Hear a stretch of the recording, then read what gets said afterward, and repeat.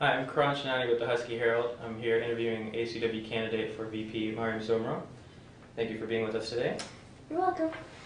All right, start right off here. Why do you believe you are best suited for this role? Well, I've been going to this school for three years now. I was involved. I didn't get involved the first year, got involved the second year.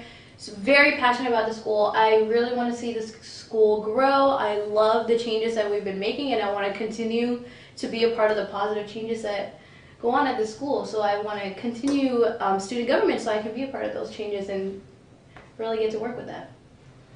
Okay, what character traits do you possess that will enable you to collaborate with the other USA ASUW members?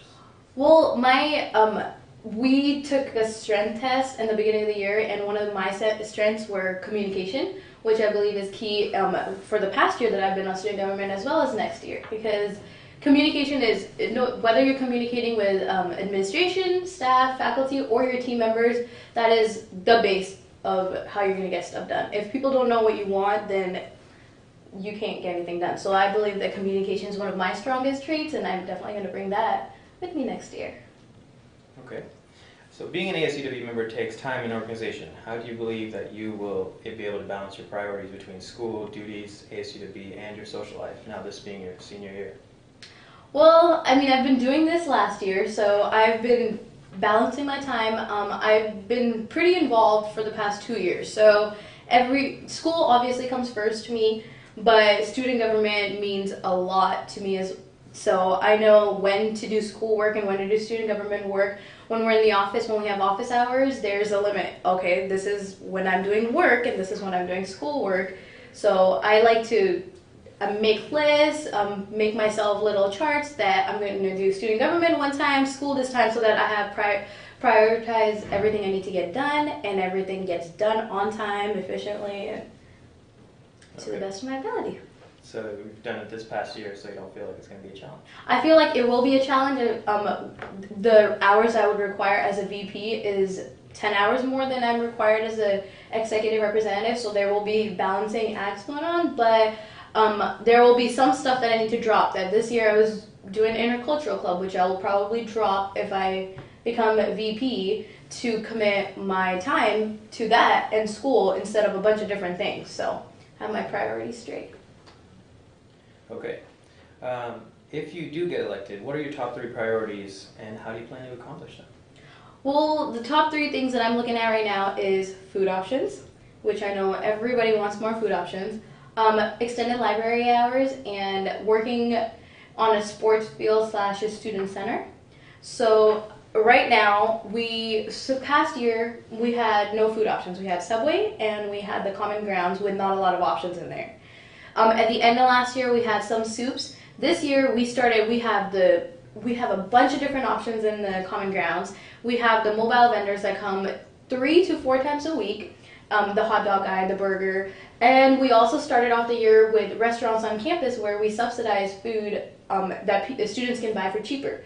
So in just in one year, we have made a difference in the food options that are offered in campus, and I want to continue doing that. Um, I'm working with the auxiliary manager here, John Shaheen, who is in charge of food. So um, I know who to go to. I know what we are working on, what needs to be done to move forward, and I just want to put that into action as soon as I get elected. Okay. How would you inspire the UW community to get involved in your priorities as well as inspire the community to generate their own initiatives? Well, um, just getting telling awareness to everybody, letting people know what we do, um, creating transparency between the student government, the students, and the administration.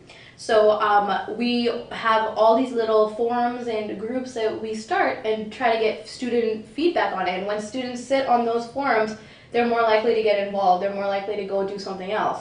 And um, passing what the student want to the administration. So going through with whatever we say we do because when students know that your voice their voices are being heard they want to get involved more and they have more concerns and more ideas that they want to get implemented so just making sure that i listen to everybody communicate well go out talk to them Okay, so that being said, who do you think is primarily responsible for spearheading the change on campus? Is it the students, the faculty, the administration, or the student representatives? i think it is a combination of everything Because of course, everything that has to be the big projects that have to be done it has to be approved by the administration, but they don't get started without the student support.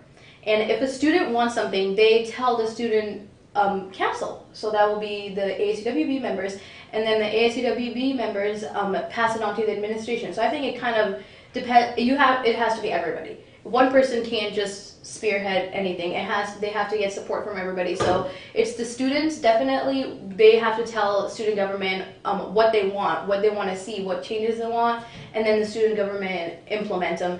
Take it to the administration, tell them what the students want, and make sure that and follow up and make sure that those get turned into action. Okay, I think that was it. Thank you for your time. Is there anything you'd like to add before we close? Um.